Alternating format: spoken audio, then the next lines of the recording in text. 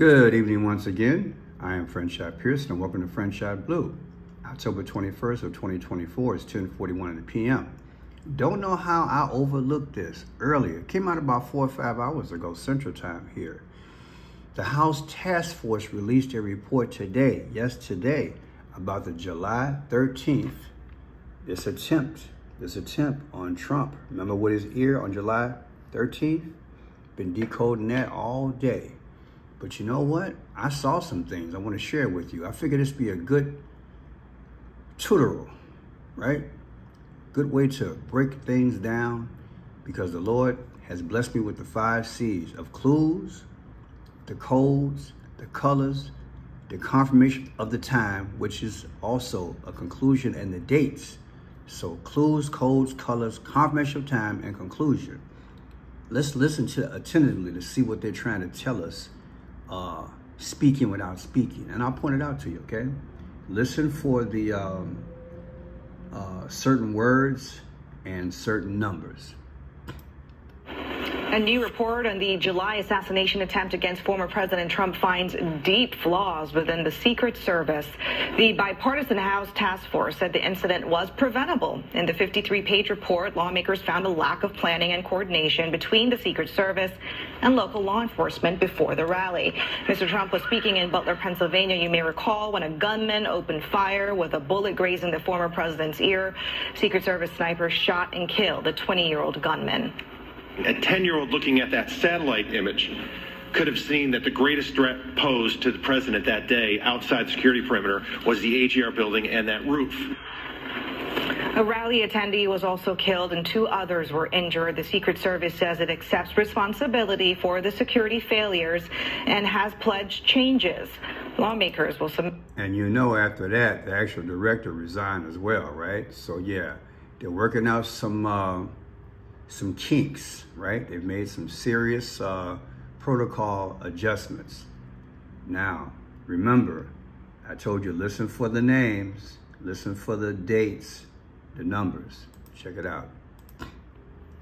A bipartisan House task force investigating the July 13th assassination attempt on former President Donald Trump said the event was, quote, preventable that's according to a preliminary 53 page report detailing the shortcomings of the Secret Service and law enforcement that led to the deceased shooter Matthew Crooks opening fire at the rally in Pennsylvania. The findings were compiled by seven Republicans and six Democrats who conducted 23 interviews with witnesses. Their report reads in part, quote, fragmented lines of communication allowed Crooks to evade law enforcement and eventually climb onto the roof of the AGR complex and fire eight shots. CBS News congressional correspondent Scott MacFarlane joins us now from Washington. Scott, good evening. What other new information have we learned from this report? We're going to hear from Scott. We're going to hear from him right here. So let's go forward.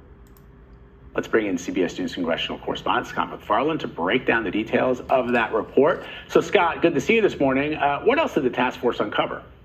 Yeah, this was such a profound, historic failure by the Secret Service. There are several different investigations underway. This is the latest of them. A House, a U.S. House task force, releasing just an interim 50 plus page finding on what its investigation has uncovered so far. And what's noteworthy here, potentially novel here, is that in addition to the failure of communication, the failure of a command post, the failure of having radio set up in the right places. The U.S. Secret Service and its law enforcement partners on July 13th seemed to lack urgency.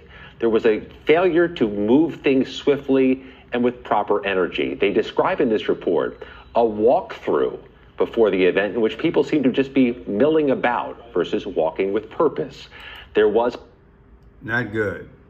Not good. This this says a lot about the environment that we have for politicians and that we were definitely vulnerable. And if we're vulnerable when it comes down to the President of the United States, we could possibly be vulnerable somewhere else uh, in the eyes of what?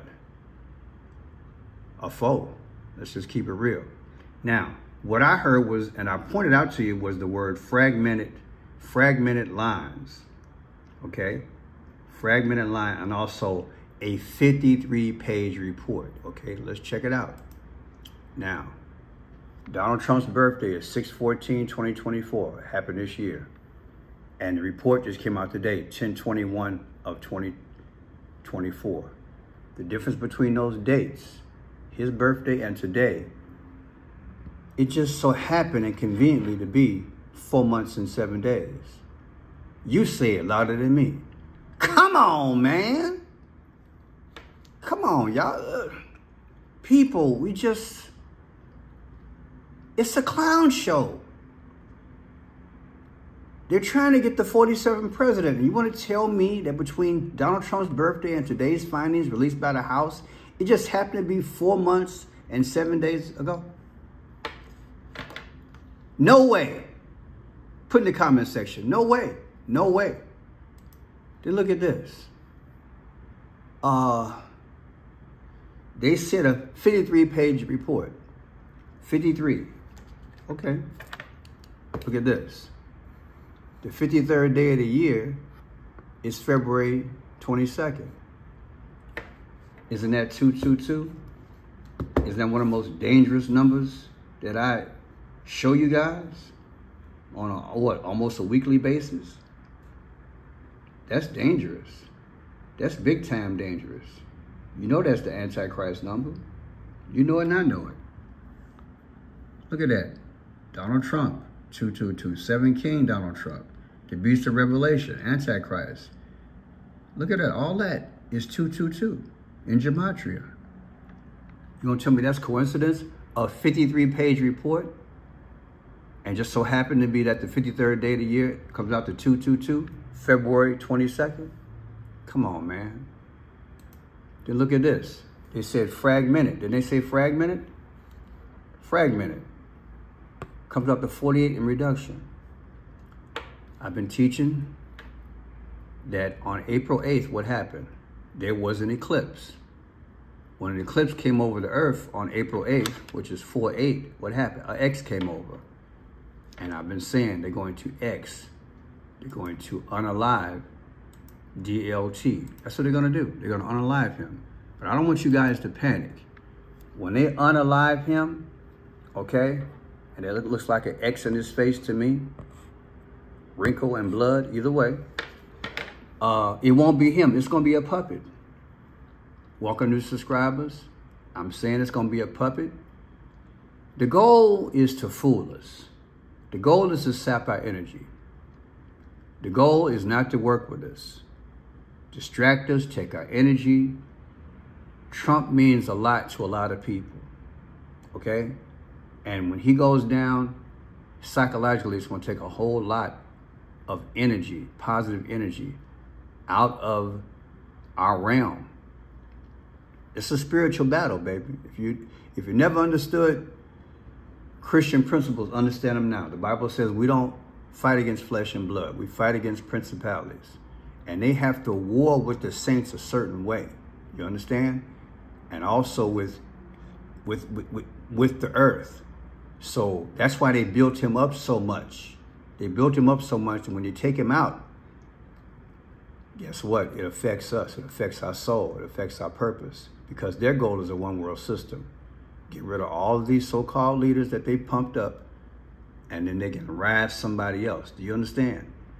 There are a lot of people who have met their demise because the Antichrist will rise up. It's one, it's a thing of as above, so below.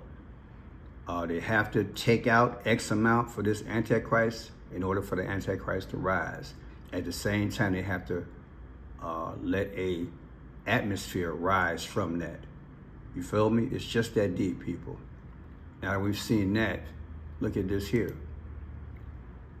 Today's date, 1021 report came out versus Barack Obama's birthday, who many believe is the Antichrist and 84 means the system that they're bringing in. August 4th is Barack Obama's birthday. Subtract August 4th from 1021, you get 78. And guess what? Donald Trump is 78 years old. Do you think? Do you think that's coincidence? Watch this. Donald Trump's age. Donald Trump is 78 years old, people.